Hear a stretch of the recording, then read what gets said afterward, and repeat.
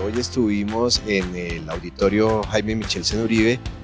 en un evento, un conversatorio que tiene que ver con la radio comunitaria como un instrumento para la paz territorial,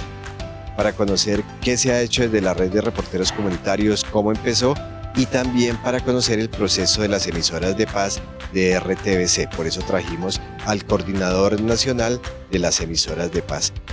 Con la iniciativa de la red de reporteros comunitarios lo que buscamos es llevar un fortalecimiento de esas competencias comunicativas de los líderes, los periodistas, los reporteros de las regiones. Y es así como hoy ya hemos ingresado con la primera fase eh, que es la fase de entrada de la iniciativa de la red de reporteros comunitarios a 73 municipios de los 170 municipios priorizados para la construcción de los PDET y tenemos alrededor de 400 miembros vinculados a este proceso. Los instrumentos de paz territorial los hacemos de los micrófonos a través de las transmisiones y aportando eh, los consejos territoriales de paz, de reconciliación y convivencia y pues conocer nuestros eh, proyectos y fondos de que se está trabajando, pues así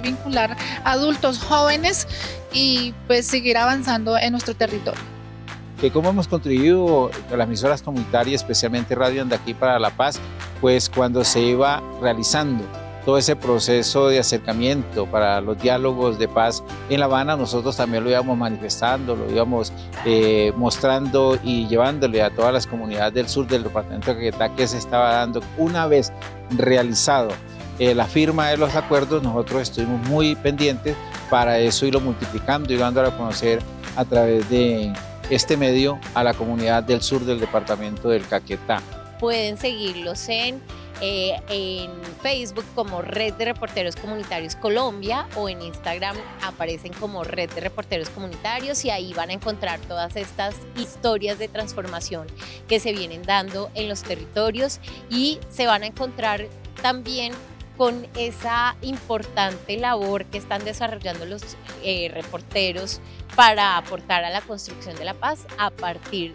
de ese lenguaje y de esas historias positivas que aportan a la resignificación de los territorios. Politécnico Gran Colombiano